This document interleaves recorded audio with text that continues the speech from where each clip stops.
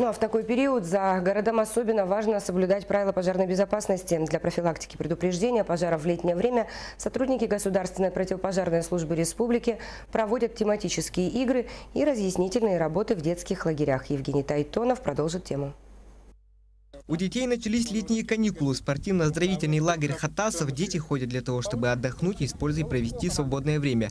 Здесь необходимо в игровой форме преподнести правила пожарной безопасности, играючи их направить и привить уважение к труду пожарных. Много пожаров происходит из- из-за того, что дети не знают э, правила, элементарные правила пожарной безопасности.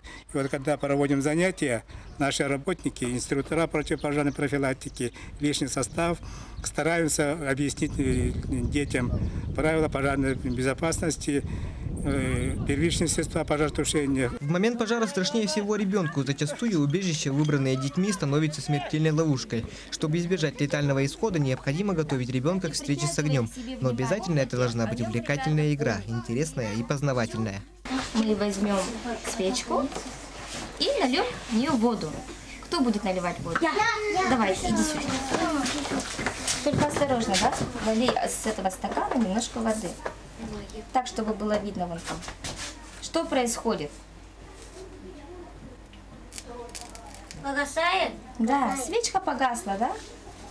Наконец-то. Наконец-то погасла, да? То есть мы предотвратили возможный Пожара. Да. Самое главное – это разъяснение населению правила поведения при пожарах, ведь принятие правильного решения и умение контролировать себя зачастую предотвращает гибель и спасает многие жизни. Нужно закрыться мокрой тряпкой и, и тихо через углы стен и, идти к двери и спокойно открыть дверь.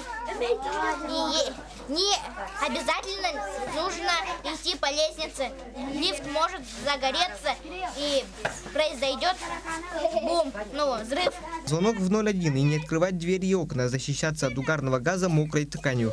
Казалось бы, элементарный набор действий, но чтобы выполнить их, необходимо быть готовым ко встрече с огнем. И иногда именно они могут спасти вам жизнь. Евгений Тайтонов, НВК Саха, Якутск.